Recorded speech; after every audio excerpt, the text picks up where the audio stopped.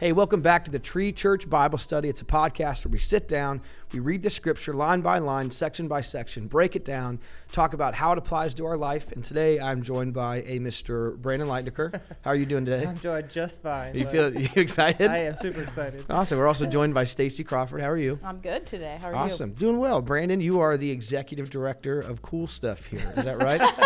Pretty much, it yeah. feels like that. Yeah, yeah, the director. I actually think it's opposite. I get to be the director of I think the fun things, all the creative things. I think you have the boring stuff. No, I have the stuff that matters most. You know, stuff that actually actually makes people's lives better and more. Yeah, I just I, yeah, we just sing cool songs and over in my department. No, so Brandon, you're the Uh, you're the director of discipleship. Is that right? correct. Yes. Awesome. What is that? And like, uh, what's your elevator pitch for what that is? What's that job in a nutshell? Yeah, I really get to be so integrated in people's par- people's lives, talking through how their faith applies and how they grow in that faith, and and so I get to be a part of their story from when they're children all the way up to our oldest adult, and get to help them process through that. And my team and I, I guess I should say, Yeah, absolutely. and all of that. So uh, it's an incredible privilege and honor, and I couldn't ask for a, a better position to be a part of. Yeah, it's incredible. Yeah, you, you get to really oversee that discipleship process from the time that I have kids as toddlers Yeah. to, to hopefully by the time you know they're having kids of their own, which is Yep. that's super cool. And Stace, how would you define your job in a you? Um, so I am the director of hospitality. right, so you're on the cool team. You're on the, you're, you're on the cool team with me.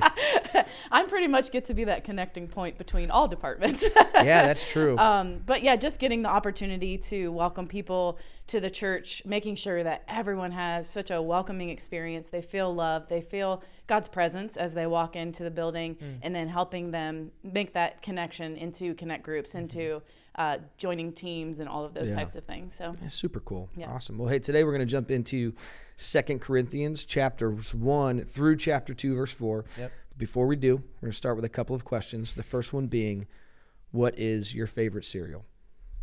What do you, you guys know, got? we were just discussing this, and I feel like there's been several references this week where just like my '90s kid comes out, like Mm. the movie Teenage Mutant Ninja Turtles just came out recently. Incredible. Is And it I'm already like- out? Yeah, Oh, and I'm like back in the zone of it. Like I'm like trying to collect all the toys and do all those things. So the same thing works for me with cereal. It's like this thing where I look at it and I'm just I just love every aspect of cereal and and can still eat it at every meal. every I view it single as like a dessert at this stage of my life. I can Yeah. eat it. I'll eat it after Yeah, dinner. like a treat. Oh, Yeah, yeah, absolutely. absolutely. But I would say my favorite cereal of all time is like Apple Jacks. Like Mm. Ooh, I Just- wasn't expecting good that. one. That's Yeah. a great answer. yeah, Yeah. just like the Me- weird. me and Alex, childish- me and Alex were just talking about uh, uh, Apple Jacks. Where it's, I've I've woke up. Now I'm not kidding. This is gonna sound like I'm j- doing a joke for the podcast, but it's 100 percent real.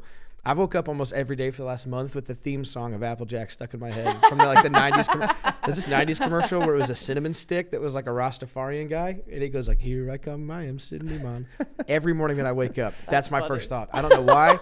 At first, I thought it was prophetic. I'm like, God's got to be telling me something. I don't Go think that's some the case. Maybe if I have a bowl, it'll finally stop. Yeah, But yeah, yeah. just take it away. what do you got, Stacey? Um, I mine's a toss up between two. I really like cinnamon life Hmm. or Ooh. frosted mini Life wheats, is great. which probably doesn't surprise anybody.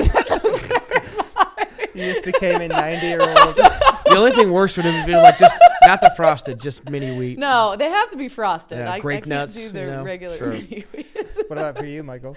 You know what I really do like? I feel like I do like boring cereal. So my favorites are probably just regular life, um, regular Cheerios. Honey Nut's fine, but I, I'll, I'll go Mm-hmm. Oh, regular. Uh, Chex, It's like really boring. I just like it. I don't know why. Anything, anything kind of brand flavored that's like that's right up my alley. You know. yeah, it's great. uh, question number two. This one's a little bit topical um, because I don't know that it, it doesn't matter, but it's been in the news lately that the that there might be some aliens that the government's talking about. Do you guys? You can go as deep or as shallow as you want. You can say yes or no. Do you believe in aliens? I don't know. like part of me feels like yeah, there could potentially be some other Sure. life form out there. I mean, you know, but then part of me is like I don't want to believe that there are Yeah. these other beings that could potentially take us over. yeah, I only want to believe in them if they're nice. You know? Exactly. If they're nice, that's okay. If you they're gonna be my friend, Yeah. then yeah, great. I like more friends. Why not? What about you, Brandon? Yeah, just too long ago, not too long ago, I should say, I finished C.S. Lewis's space trilogy. And, So good. And it's, I know it's made up, but man, does it open up my mind to like Mhm. believe that there is something potentially out there Yeah. Mm-hmm. and that God is that has that ability to do that. Not only that, Yeah. but also that the expanse is just so great. You know what I Right. No mean? like there's got to be something out there, in my estimation. But Yeah, you don't know, I think that is. I, I think there's like, you know, I like believing in, in weird things. You know, there's that like the po- the poster from X Files, like I want to believe. That's like, like I want to believe that stuff, and so I think I think I do. I think it is an interesting thing as a Christian though. Like if there's mm-hmm. aliens, like mm-hmm. did like did God have another only son that had to go die for their sins? Sure. Are they sinless? Do they have sin? Hmm. Like what's the you Some know deep questions. some deep questions that come along with aliens. So mm-hmm. I hope they are because I think it'd be neat. I it's like a, a fun thought that they're aliens, but I don't I don't know. I don't know for sure, but I think mm-hmm. it'd be cool. yeah. All right, you guys ready to get into it? Yes. Yes, let's do this. Awesome. So this is Second Corinthians chapter 1, uh, verse 1. This letter is from Paul, chosen by the will of God to be an apostle of Christ to Jesus, and from our brother Timothy. I'm writing to God's church in Corinth and to all his holy people throughout Greece. May God our Father and Lord Jesus Christ give you grace and peace. God offers comfort to all. All praise to God, the Father, our Lord Jesus Christ. God is our merciful Father and source of all comfort. He comforts us in all of our troubles so that we can confront, uh, comfort each comfort each other. Um, when they are troubled, we will be able to give them the same comfort God has given us. For the more we suffer for Christ, the more God will shower us with His comfort through Christ. Even when we are weighed down with troubles, it is for your comfort and salvation. For when we ourselves are comforted, uh, we will certainly comfort you. And there can uh, then you can be patiently then you can patiently endure the same things we suffer. We are confident that as you share in our sufferings, you will also share in the comfort God gives us. So when I read that, you know, first of all, it's like a reminder of how generous God is. That even that even in suffering, we know that anybody who's been a human for any amount of time with a with a conscious brain knows that suffering is a part of life. It could be as simple as stubbing your toe, stepping on a Lego, or it could be as like as traumatic as some of the big awful events that we know can come with just being a person, what it's like to mm-hmm. live in the human experience. But to me, even reading this opening part, is Paul. What I love so much about his heart is he isn't shying away from that. It's not this prosperity gospel of like, man, if you just do the, you know, do the right stuff, then nothing mm-hmm. bad will happen. Yeah. It's this clear example of suffering is inevitable, suffering will happen, but there is comfort in that, and is that as they experience that comfort, they can then teach it to others, and you can kind of co-labor in it. You know, the, what I jotted down here is that there's unity in suffering. Yeah. Um, you know, I don't know about you guys, but but there are moments where all of a sudden I'll feel alone in my suffering, or I'll feel um, I'll feel hurt, or I'll feel um, like like no one can identify with me. And all it takes is one person saying, "I've been there. I know what it's like. Here's how I got through it." That all of a sudden I feel you know incredible amount of peace. Yeah. How have you seen this in practice at our church, and even specifically in your ministry, when you get an opportunity to look at, you know, how suffering applies to the body of Christ as a whole?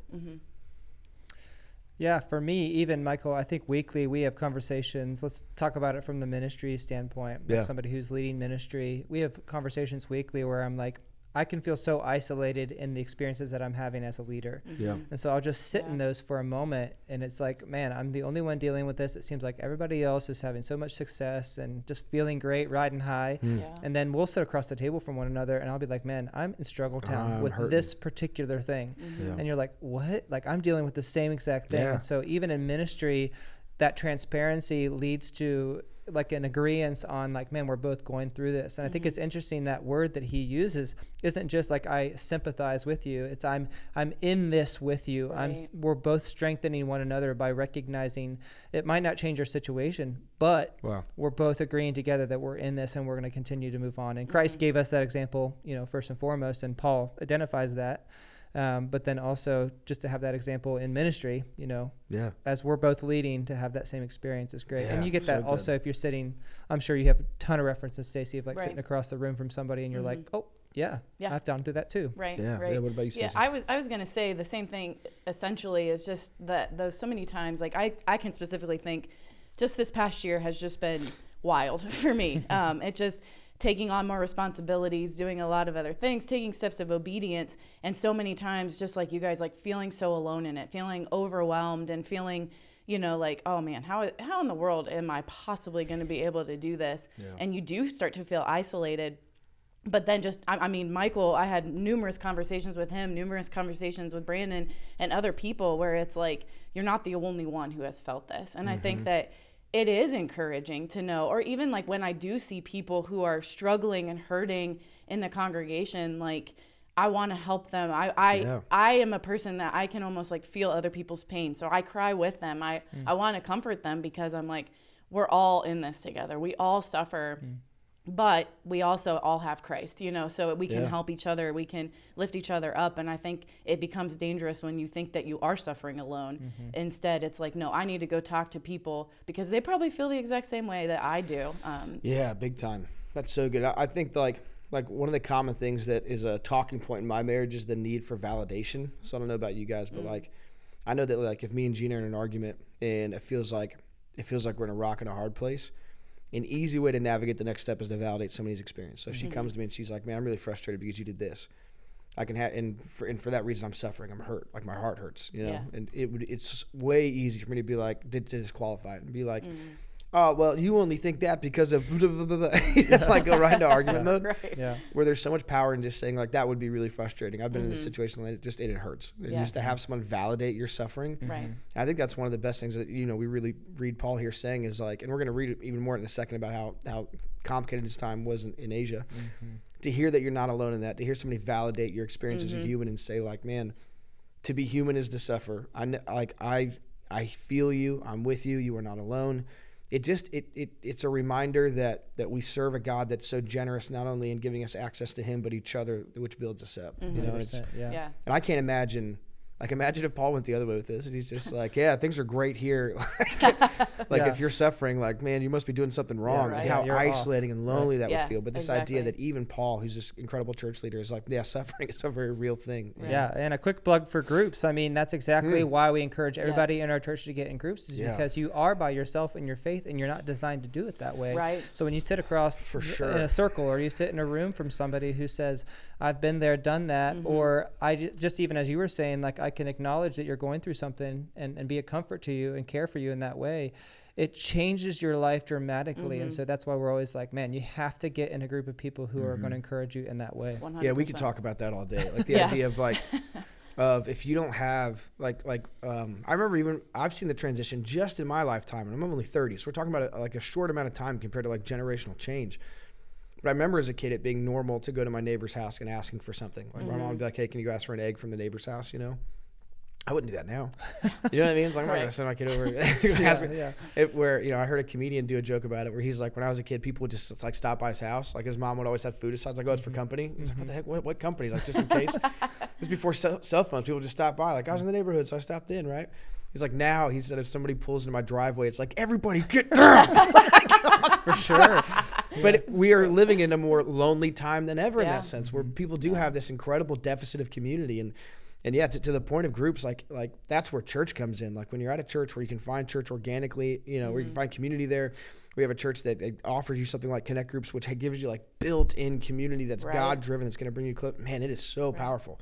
I'm at a point now where i can't imagine life without that you know? It, it would sound so incredibly lonely. And I, I think Yeah. something that I think we have to be aware is that Satan wants us to think that we're alone in our suffering. Mm-hmm. And, You Wow, know, like yeah. he's going to lie to us and be like, "You're the only one." You know, just like we were kind of saying, and that's why it is important to have connect group. It's important to have those people that you're like, I know I can come to you and I can say, I'm struggling with this. Yeah. I know it's not truth. It's not God's truth that He's speaking into my life, but I need somebody else to help me well walk said. through it. Yeah, hundred percent. Yeah, and, and and the more we can lean into that, I think that that is the more that God meets us right in that place. Mm-hmm. You know, and that, I think that's the the really beauty of what Paul's talking about. So let's jump into verse eight. He says, "We think you ought to know, dear brothers and sisters, about the trouble we went through in the province of, uh, province of Asia."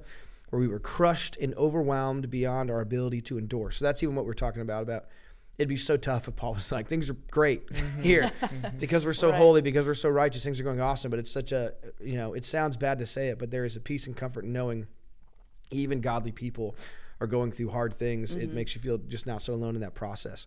It says we were crushed and overwhelmed beyond our ability to endure, um, and we thought that we would never live through it. In fact, we expected to die, but as a result, this is this is so cool. As a result, we stopped relying on ourselves and learned to rely only on God who raises the dead. So he's like, we literally thought that we were going to die, and we had to stop and remind ourselves that even if we do, we serve a God who raises the dead. Right. He is the one in control of the situation. And he did rescue us from mortal danger, and he will rescue us again. Um, we have placed our confidence in him, and he will continue to rescue us. Um, and you are helped, and you and you are helping us by praying for us Um, then the many people will give thanks because God has graciously answered so many prayers for our safety. So here we see something that's like a real life example of suffering turned into something that edifies the church. Like I said, on one hand, it's a comfort to know that Paul also goes through challenges and struggles, Yeah. but also him even having the wisdom to say like, and how cool is it that you guys all praying for us? Like you get to see the benefit of your prayer, the fact that I can mm-hmm. write you this letter right now. Um, and that, and not only is there unity in suffering, that's kind of what we talked about, how unifying it is. It's also edifying, where it Yeah. makes our faith feel stronger to, to experience that and to see people triumph over their brokenness, to see people mm-hmm. triumph over their mm-hmm. suffering together. Right.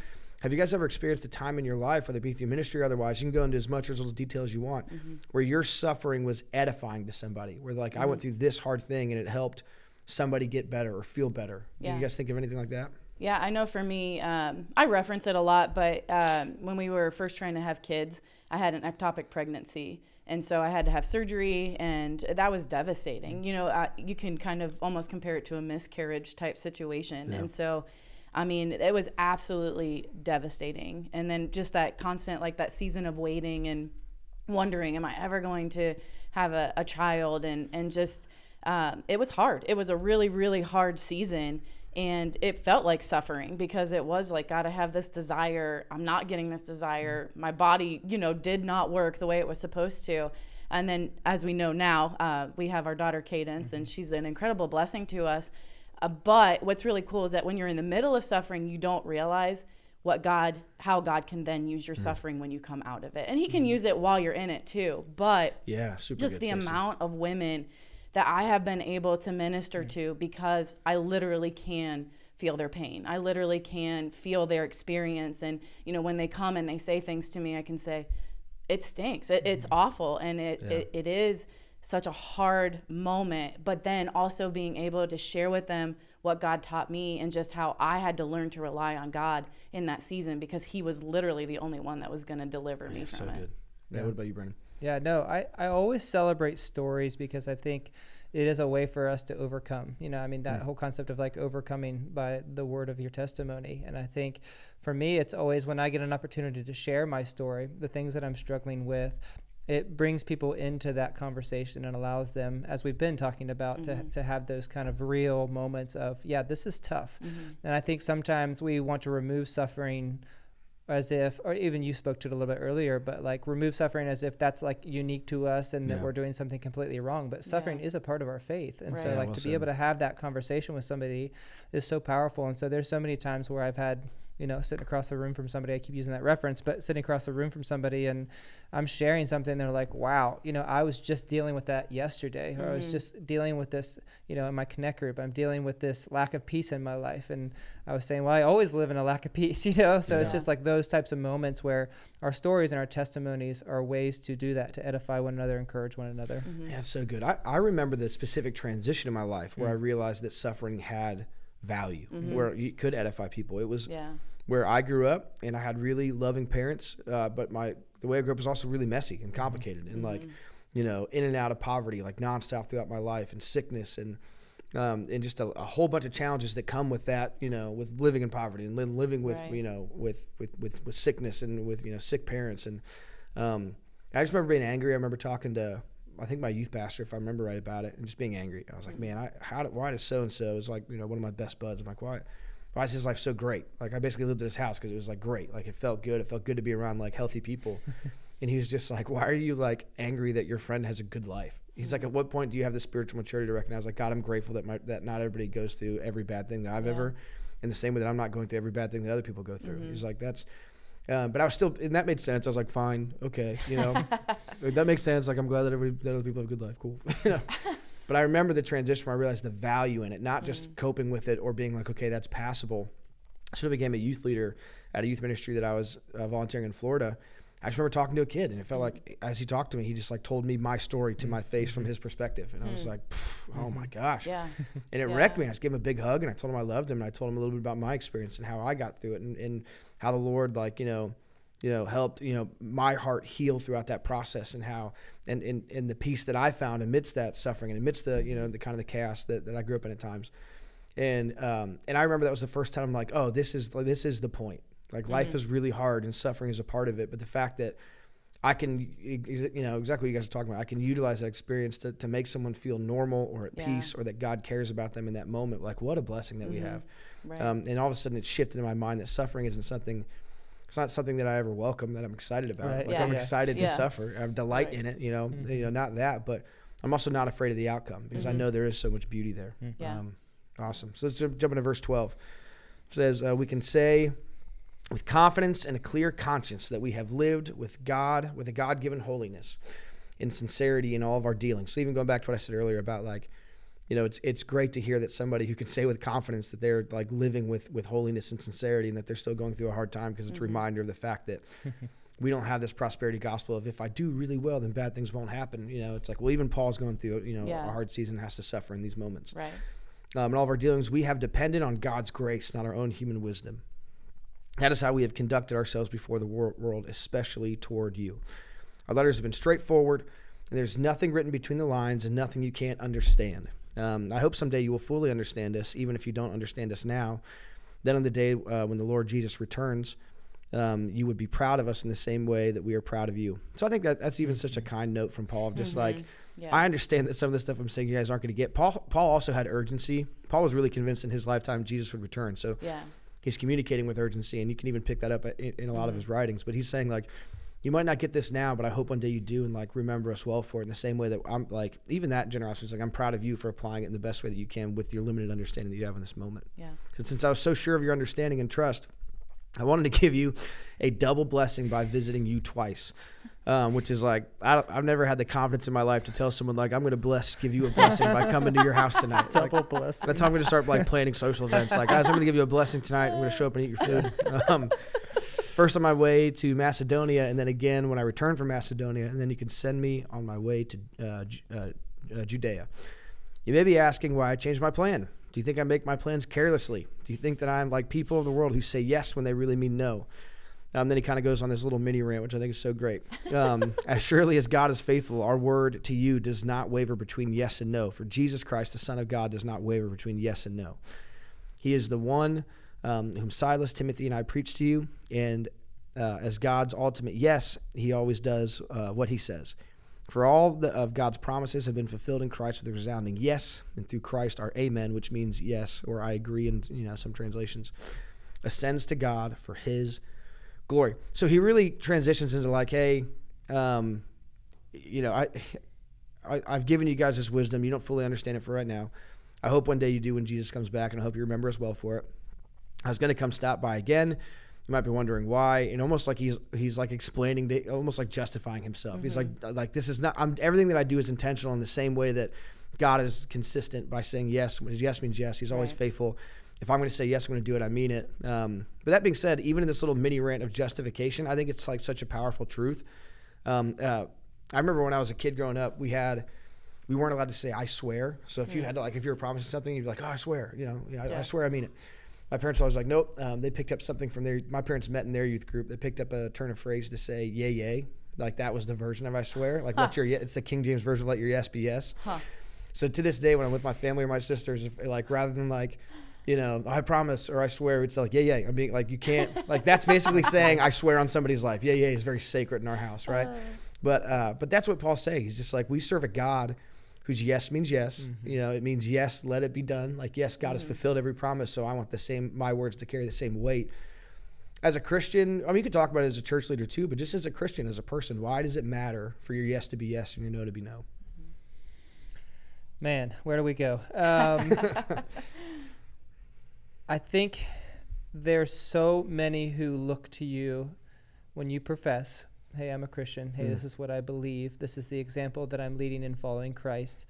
There's an immediate lens on you to to be a person who reflects that in everything that you do. You know, and I think that's the the staggering thought, and yet also the blessing of it is that you are that example for Christ in the way that you display yourself. And so, Yeah, so if you are a person who is untrustworthy by your words, by your actions and deeds, and I think that immediately can, you know, hinder your ability to, to truly be a person who reflects that, you know, Christ to others and those types of things. And that can be even in your own relationships, you know, you become an untrustworthy mm-hmm. person, you know, you say one thing, do another, or vice versa, you know, and so I think there's always a challenge that comes with always developing level of trust with people and maintaining that and Mm-hmm. that is simply by saying and, and doing what you, you said you're going to do Yeah, I, I even love the way you said that. Like it's a staggering thought, but also a blessing, and that's so true. it is Mm-hmm. humbling. It is staggering. It is almost intimidating. Of like, I have to be an ambassador and a representative for Christ Right. in my church, in my family, and all of a sudden it's like, whoa, Yeah. like that's really heavy. Where I want to say truthful things, Mm-hmm. but it's also a blessing. Like when you can live your life with that consistency, and when you say yes, it means yes. Mm-hmm. Um, that is that is a blessing to your character. It it creates when you speak, people believe you because you have consistency behind it, Yeah. um, and, it, and it's also keeps your character aligned with what God would have for you. Right. Yeah. Right. Yeah, that's what I was gonna say. Is that it just it makes you that much more like Christ. You know, that was the way Christ was. That's the way God is. Yeah. And we're supposed to be imitators of, of Christ. But like to me, I also look at it as like it's a character quality and it's integrity. You know, like those those are things that God calls us to as well. And so um, when I say yes, if I tell somebody yes, I'm gonna do it. I'm gonna do it. You know, and if I say no, which is a harder one for me to say sometimes, then I mean no. yeah, yeah, absolutely. So yeah. Yeah. I just think it, it just it's such a great reflection of Christ. But I think just like you were saying, it makes you a trustworthy person as well because people Yeah. know they can take you at your word. Yeah, and if you remember back in First Corinthians, Paul had to already do this with them in his first letter. He Yeah. was mm-hmm. like, "Hey, remember, this is what we believed in. Yeah. Yeah. We're talking specifically about the resurrection, but this is what we believed in. I would not be doing these things. I would not be behaving this way or behaving this way. I would not be 100%. doing all these things that he's mentioning in the first chapter if I did not believe in the truth of what I'm Yeah. telling Right. you right, ne- right here and Yeah. now. So why would I do all that? Why would I even come to you and share this message with you if I didn't really Yeah, so believe good. in it or have a moment with Christ Yeah. in it? Yeah, and because he does, he's like, for that reason, when I say yes, it means yes. Like. Because I'm an image bearer of God, because I do believe that Jesus is the resurrected, you know, living God himself. Like, mm-hmm. I am going to be as consistent in my character. And if I say something, it's because I believe it. I remember my dad told me when I was a kid, I remember him always saying, like, all you have is your word. And I thought that was so silly. I'm like, that's not true. Like, Yeah. you have tons of stuff like that that are outside of what but i get that the, the older i the older i get in the sense of you can try to earn much and do much but if people don't trust that you when you talk you might as well not talk it's mm-hmm. like that's Yeah. the only thing at the end of the day that can truly add weight to what you say is can you trust what they're saying mm-hmm. the moment that there's that like oh they might not be honest or they always or you know they're like like flaky people where they're just like they always say they're going to show up and they don't um, it, then then all of a sudden the things that you say just mean less. Yeah. Like everything you say is weighted less. Then it's like if you say you're going to do something, that's something that I've had to like really struggle. I'm like a classic millennial, where it's another thing my dad told me. He, he led a young adult class when I was a kid at our in our church. I remember him always complaining about young adults are so non-committal because they'll just like le- they don't want to say a hard yes to anything because they want to leave the door open in case something better comes along. I've had to battle that in my life a ton of times where it's like I want to do something and then something will pop up. I'm like, oh, that's way better. But I already said yes to this thing. And through discipline and age, I've had to say, like, it doesn't matter. Even if I don't want to do this, I said I would do it. So I'm going to do it. Because at the end of the day, you know, you don't want to be counted as somebody who's unreliable because then when you actually say something that matters, you want the weight to be there and the consistency of your character to be able to back it up. Yeah. It's tough, but yeah, it's Yeah. important. Um, this is verse 21. It's God who enables us, along with you, to stand firm for Christ. Uh, he has commissioned us, He has identified us um, as His own by placing the Holy Spirit in our hearts as the first installment that guarantees everything He has promised us. That first part really jumps out to me. It is God who enables us. That Yeah. simple sentence, I think, is like one of the most liberating things that I can apply to my life. It's not myself who enables us. It's not my own strength. It's not my own wisdom. I even talked about the importance of your your yes being yes. It's not even your own character in that sense that really enables us. It is God who enables us. How has that thought has it brought you any peace in your life to know that like you don't have to rely on your own strength? Yeah. I I like to have control. Yeah.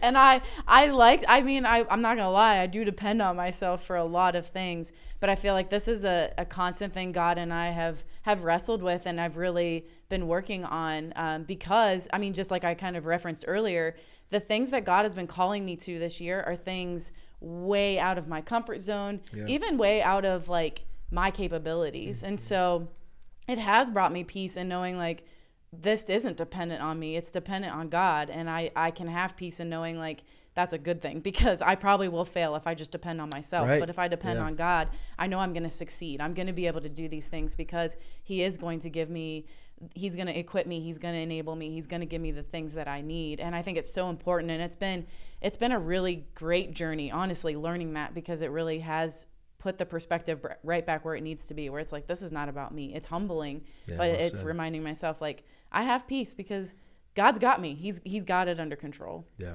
absolutely. Yeah, I've operated, I would say, 90% of my life in the false reality that I am in control mm-hmm. or that I am worthy or that I'm strong enough or that I'm capable enough. And here just recently, I'm just learning over and over again the grace of God and how important it is in our lives and, and how it literally shapes and molds everything that we do. You know, mm-hmm. it's like I always, for some reason, fall into this weird sense of like that I can somehow reach or arrive at a place where I'm just going to one day not be able to rely on the grace of God. And I just don't hmm. think that's true, or I mm-hmm. believe that that's not true at all. And I believe Right. Christ tells us that, and Paul tells us that. And so for me, I'm in a season right now where, as even Stacey was speaking to, that like everything feels outside of my control. Mm-hmm. Before I would see it, say I would just, oh, just I'm just going to put systems in place and fix Right. it, and everything's going to be better. I'm in a place now where literally everything is outside of my control, in mm-hmm. my work, and my home responsibilities, all of those things.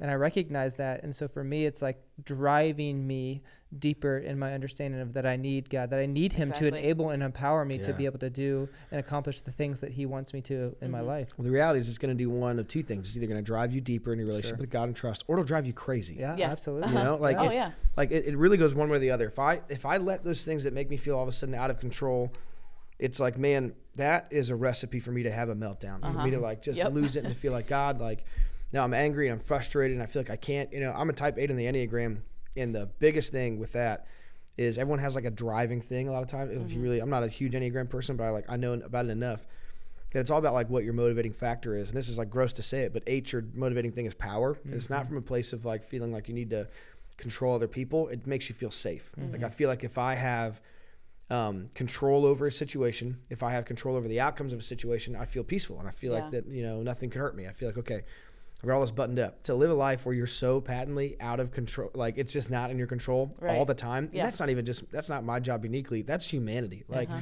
right nobody can like steal someone's autonomy and just make everyone be exactly what they want at any given moment. You know, even having kids has been like such a humbling. you know, the amount of times I look at my kids, I'm like, could you just do what I say? Uh-huh. Like, Yep. gosh, what is your problem? You know, and it's just a reminder of the fact that I am very much not in control, but it's that piece of it is God who enables us. Mm-hmm. And mm-hmm. I think about that in ministry a lot. I feel like sometimes people. Not all the time, but some people can glorify the office of ministry and think it's really cool and mm. special and like you have this really unique calling on your life and how special that is. The reality is that like my experience getting into ministry was really I never wanted to go into ministry. I never had this moment where I mm. had this calling of God's like now you will go into ministry. It mm. was God opening up doors that I walked through and was obedient and that was it. That's how I got to the place I'm now. Just walking through open doors that I believe that the Holy Spirit opened up.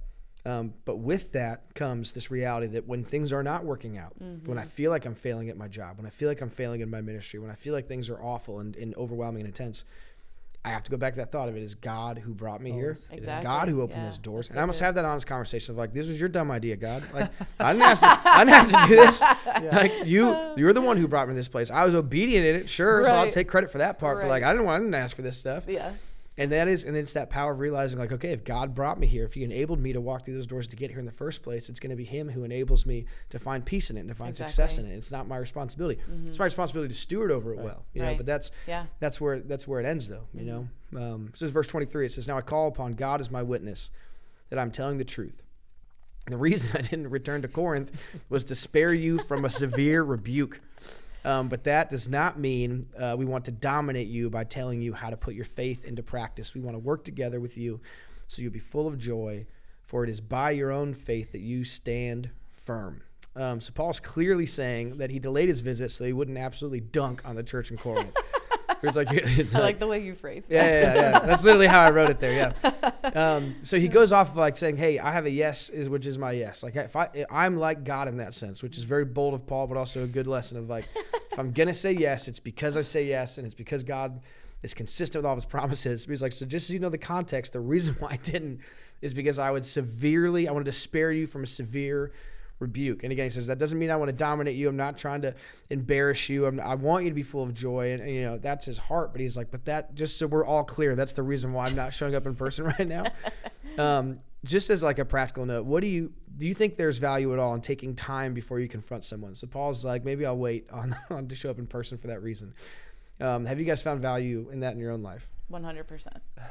Yeah. Well, I don't like confrontation anyway, so it takes me some time before I confront people. Sure. Anyway.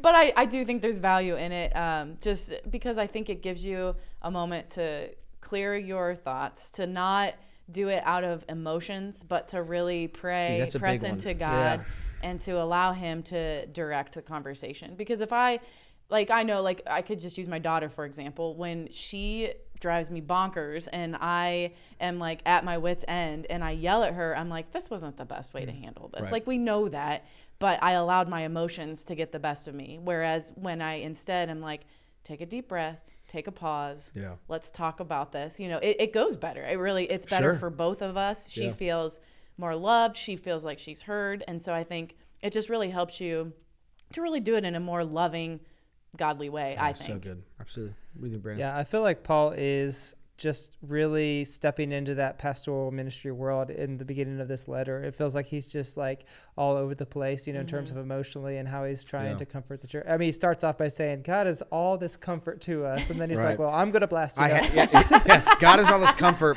I gotta tell you about my trip in Asia. Yeah, it was exactly. awful, and now I'm now you're in trouble. So Yeah, I'm gonna give I'm gonna Which give is it a beat. exactly what ministry feels like. Uh, a hu- a hundred percent. But I think theologians believe that there is a letter in between this where Yes. Paul is blasting them, and so he references hmm. that in the beginning Right, of, of yeah. chapter two. But so Paul has been there, done that, and he said, We were talking about that yesterday. Like, boy, would I be curious to read that letter.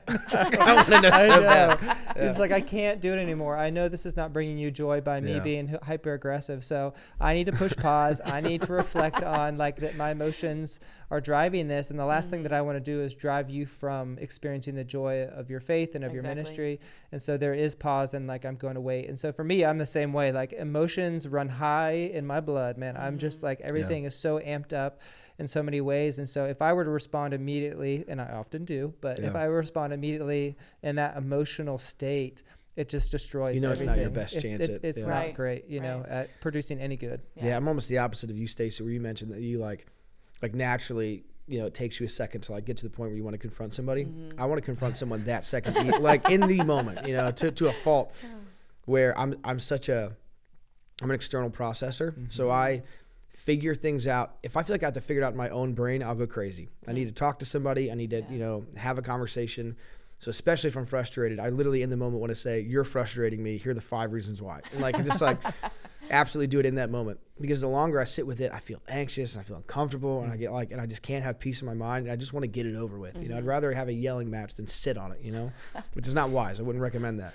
Um, but that's but that's my reality. So it, it has taken. Uh, my sister Mary taught me this even when we were teenagers, where she she would just be like. We can talk about this later, and she'd walk out of the room, and I'd be like, "We certainly will not." And I'm like, "Follow you out of this. I'll follow you right into your bedroom. Like, you will not. You know, we're gonna figure it out right now." And she's she just taught me, you know, with age and time, even as adults, she has to remind me, she's like, "Just give me a minute, dude. Yeah. Like, let me Right. have a second to like think about what you're saying and like process it." And that's so hard because I am an, an external processor. I want to have it out right there, and I don't like sitting on it. Mm-hmm. But I've also realized that is so rarely one, even for someone else's sake. If that's not how they process, you're not giving them an opportunity Yeah. to bring their best uh, to the table. Right. But even for myself, it's impossible to avoid emotions when you're still in the moment. So Yeah. just to have the wisdom, it's not Right. easy. It's I hate it, but it's like Right. super important just to take a beat, allow yourself to to feel peace, allow yourself to think about it well before you go approach a situation. I think there's a lot of wisdom in that. And You're God, like and God, oh sorry. No, no, you're and good. God can often change your perspective in that too. You know, Oh, where it's like All the time, maybe yeah. I took it that way, um, or even when you take that moment to wait and you confront them, sometimes they don't even realize it. You know, like sometimes they're like. I didn't realize that that was how that came across in that moment, or that was Mm-hmm. How you know. I mean, it's not always that way, but I think Yeah. when you allow it to have a little bit of time where it's like, okay, I'm at peace about this. I've prayed about this. God has maybe even given me a different perspective and helped me to see that person through his lens instead Yeah. of through my emotions. I think it helps that situation too. Man, it's, it's super good. You even see Paul. What is he doing? He's writing a letter. Mm-hmm. He's like, mm-hmm. imagine if this was in person. There's there's a chance that he would not have talked about. I want you to be so full of Yeah, joy yeah, Right. that he just would have been like, what is wrong with you? Right. You know. And I think that's like having the patience to like. It's the old trick of like write an email and don't send it. Like mm-hmm. wait till the next day. Like there's wisdom in that. Just Yeah. write something down, process it, think about it. Yeah. You know? Right. And oftentimes for me, it's the conviction of a heart change in that process. Yeah. Like that I'm coming at this too hot. I'm judgmental Oh, sure. or I'm in this state I'm of just like nearsighted. I'm emotionally righteousness, whatever I am Yeah. in right Right. now. So God will often speak to that and I'll be like, okay, now I understand. Now I can love and, and see a different That's perspective. good. Yeah. Um, all right, so this is jumping into, into chapter two, verse two now. Um, so, uh, uh, yep. So I decided that I would not bring you grief with another painful visit.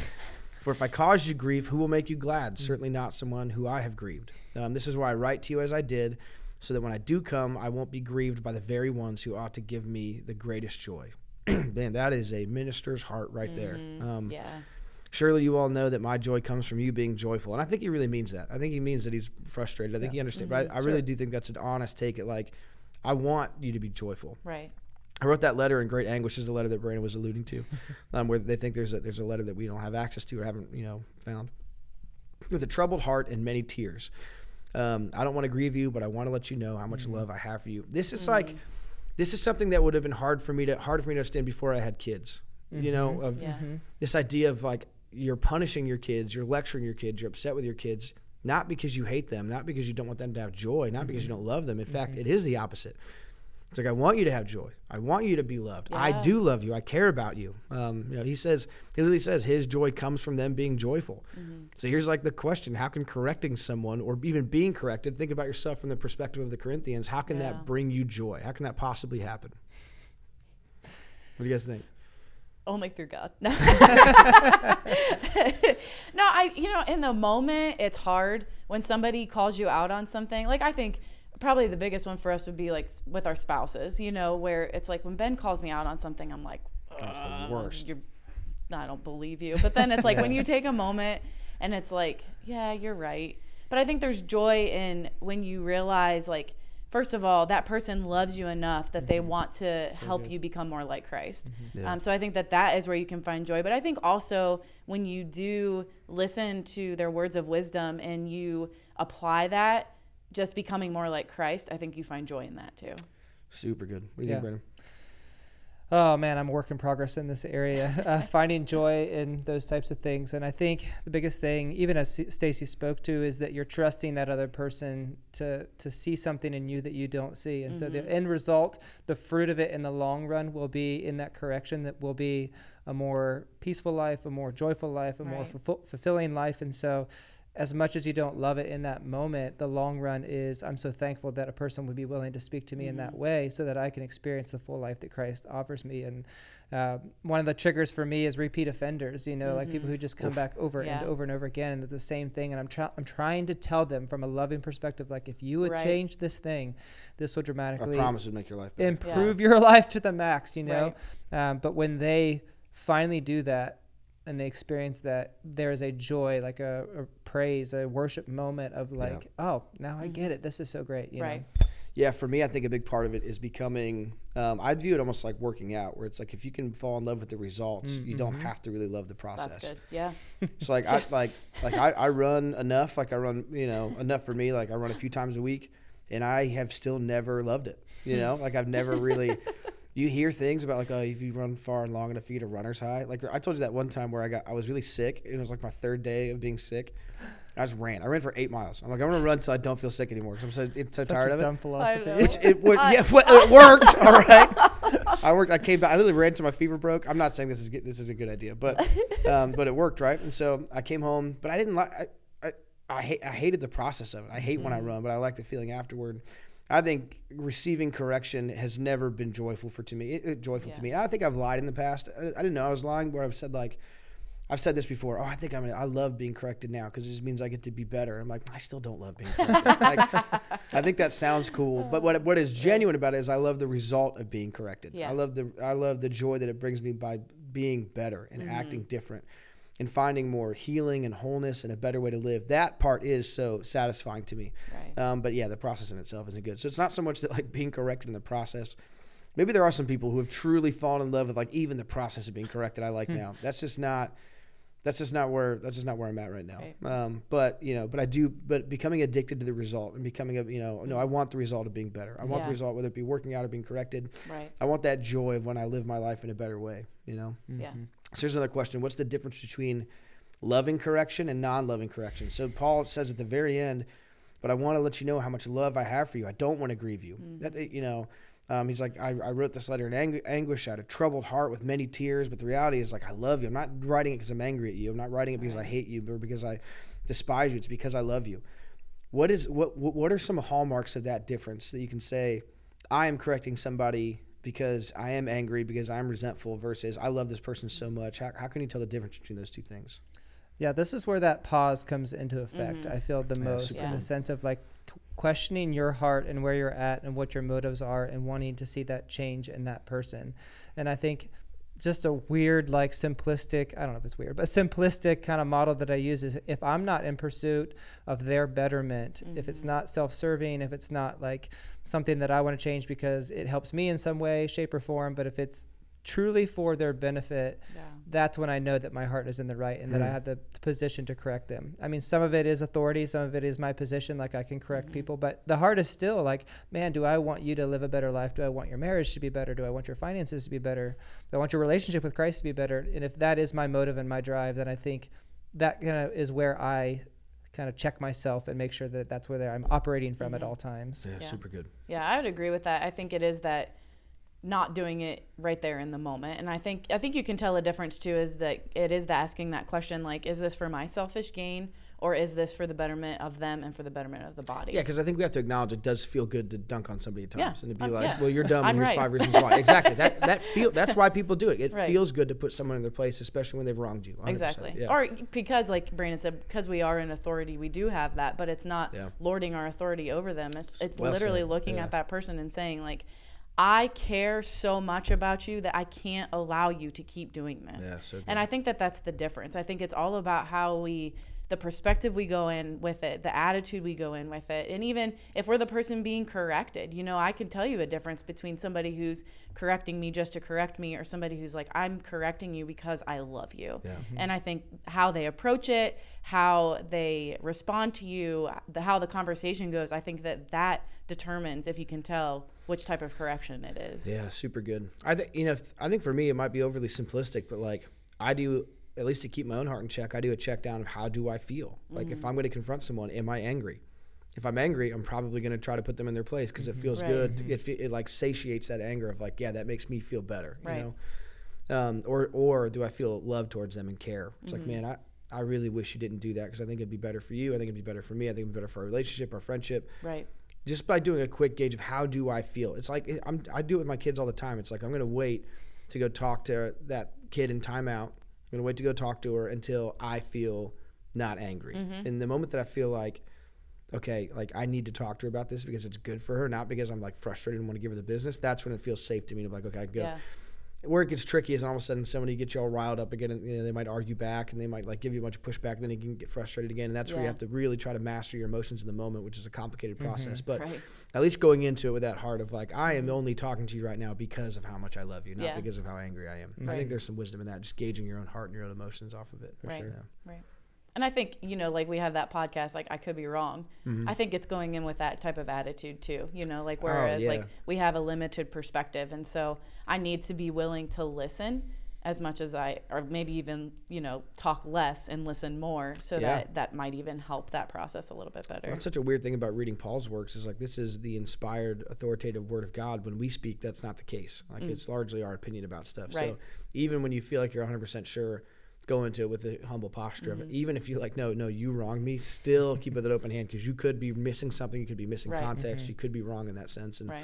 I think that's also helpful.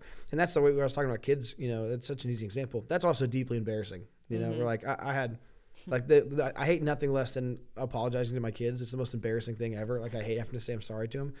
But I think with Darby recently, where she told me, it's like, well, mom told me I could do this. I was like, your mom did not tell you you could do that. Go to your room. Like, no, no way. She started crying, and I'm like, oh, man, oh, geez, that's frustrating. Like now I got to go, you know, you know, talk her through it and explain why she's not allowed to lie and this whole thing, and and which is, a, you know, I'm not like dreading that, but it's like, okay, this is the next step. And I went and talked to Gina, and she's like, I did tell her to do that. I'm like, oh man. And the last thing I want to do is like gaslight my kids. I don't want to go in and be like, well, I only thought that because you lie all the time. Yeah. Like the right move is to teach them early on that like it's okay to say sorry. So when I'm like, I'm Yeah. so sorry, like I was wrong. I shouldn't have assumed that. I, I talked to your mom. Like, will, will you forgive me? That's the word. They tell ask a four year old to mm, forgive you is like "You little jerk. but there's so much power. That's the reality of where we are a little bit different than Paul writing to the Corinthians. It's like it, uh, you know that is also part of having that loving posture. It's Yeah. holding it with open hand, knowing that you could be wrong about it. Right. Yeah, and he gives them space to be able to process the stuff that he shared with them, and I think that's why even like the letter Yeah, well said. mentality is so Mhm. good because he was like, "I'm going to give you space to be able to sit on what I'm telling you, uh, live out your faith. I don't want to like create insecurity or somehow hinder your ability to be able to pursue Christ in this. Like he's like, I want to give you well space." said. And That's so I think good. like even as we speak into people, we have to give them space to receive that correction. Mm-hmm. And sometimes people respond in like both of my kids respond in different ways. Like one shuts down completely, Yeah. and then I'll hear about Mhm. more of it like three days later, and I'm like, oh, you were Oh, processing wow. this. Mhm. Yeah. Whereas one just wants to like bicker and argue back. You know, Right. you guys can decide who which eh, you know kid Yeah. is which. I think, I think, I think know, yeah. you know, so they each respond differently. So I have to almost be prepared in my Mhm. correction to make sure that I'm prepared for that as well, and to give them space Yeah. to do that. Yeah, I think that's just as loving as, as all the other things we talked about. Is uh, like I have a- like my relationship with Kenny is like that, where Mm. It's like my best bud. Um, he's a, a tech director here at the church. And my, like I said, my preference is the external process. I want to talk about it. I want to like flesh it out. I want to arm wrestle about it. I want to figure out the, the truth of the situation. He's not like that. It, it takes him a second to process. Where Yeah. if I go try to argue with him or tell him something, he'll just look at me. and He's like, okay. In his mind, he's gonna go take time to chew on it and get back to me. Right. So I learned, uh, you know, um, a habit uh, where I'll just send him a text of like, here's here's what I'm dealing with. Let's talk about it on your time, and then we'll follow it up with an in-person conversation. Right. But to love someone in that way of like, Mm-hmm. you know, or even like, hey, I'm, I'm worried about this thing. Take some time to think about it. Then let's meet. I, but I did that literally this week with you because I know you're more of an internal processor. I'm Right. like, well, you're like, let's have a conversation about this. I'm like, all right, going into it, here are my thoughts on your time. Let's meet about it because that's a way to love people where they're at and say, no, I don't need you to submit to the way that I want to communicate Yeah. right now. I love. I'm not just doing this for my ego or to feel better. I love you. We love Right. each other. Let's edify each other in that. Yeah. So even knowing people and making it a part of the way you love them to learn their communication Yeah. preference. That you can go into the, the thick of it and be like, well, they, they I don't have to do it the way that they Right. want it. They should do it the way that I want it. Sure, you can say that, but like, what's the more loving posture? It's Mm-hmm. Right. to die to yourself and to say, I Mm-hmm. love you enough to meet you where you are. So I want to do this on your terms in a way that you feel like you're going to be able to successfully communicate how you feel in a way that honors us both. Like Right. that's that's huge. Yeah. yeah. yeah putting that other person like putting your it is putting yourself in the other person's shoes essentially Yeah. like you were saying that i i am a high emotion person and i take things personally you know Mm-hmm. so if somebody's it, gonna correct me or something i'm gonna i'm gonna cry i'm gonna be upset i'm gonna Yeah. you know Yeah. i'm gonna feel shame i'm gonna beat myself up Yeah. and so like having people that know that about me like i know many times people will they'll give me an encouraging word and they'll be like hey have you ever thought sandwich. about Yeah. because they know me well enough but i appreciate that they know me they're loving me in that moment Well, I remember one of the first work conversations that you and I had. So, so when you when you joined our team, is I, is the first thing I told you is like, hey, I'm going to tell you a lot of stuff. Don't put a false sense of urgency on it. Like Yeah. I'm not feeling urgent about this. And I just remember seeing your face. You're like, okay, I could do that. I'm just like knowing that your natural bent is like that's a huge list. It might feel like a lot. It might feel like I Mm-hmm. can't do all that this week, so I don't want to fail. Is just making sure you love someone enough to say like. I'm going to clearly communicate the expectation. I'm not putting that on you. Don't put it on yourself. Right. It's all about that. Meet someone exactly where they are in the moment and to be able to love them well. Yeah. Yeah. Super good. Good stuff. Cool. You guys have any closing thoughts? I do not. nope good I think that's it. I think that's all we got. Well, hey guys, thank you so much for joining us on this uh, for this podcast for this Bible study podcast. I hope it, I hope it edified you. I hope that you know. Uh, I said this last time I hosted. One of the best ways that I learn is are hearing people talk about really anything, whether it be a topic, an issue, or specifically the Word of God. So I hope you pulled things from it. I hope it blessed your life, um, and we certainly hope that you join us next time. Thank you.